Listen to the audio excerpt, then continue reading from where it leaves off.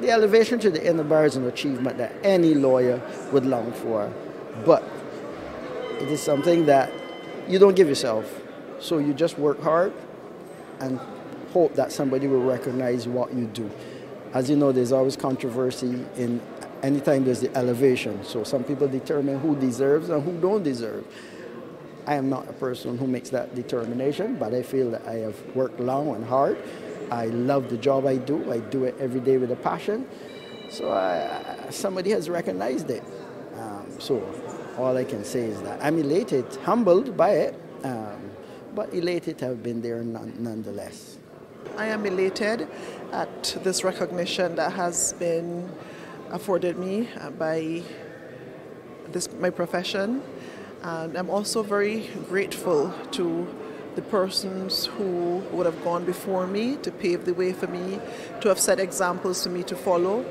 I would just like to endeavor to be a, a role model to the younger ones who are coming, especially the criminal attorneys, so that they can see, you know, that if you work hard, in the criminal arena, there is recognition. It is a singular honor to be recognized in this way.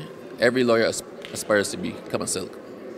And I am proud, but equally at the same time, I am very humbled by the recognition and by the honor. They, when the warrant was read, it was you're being congratulated on achieving the honor and dignity of silk. And that's what it is. That's what it should be for the entire legal profession the honor and dignity of being a lawyer. And we must never forget that it's a profession that we are privileged to be a part of, is a profession that is one of the most respected professions in the world.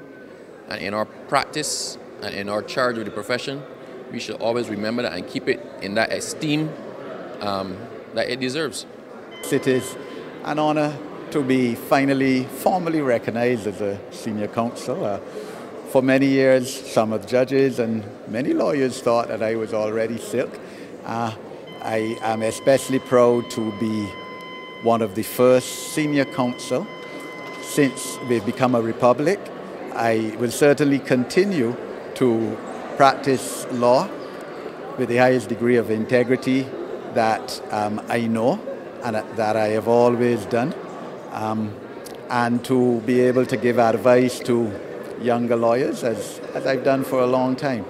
Um, I see this as recognition not only in terms of my contribution to the legal profession, but also to my public life.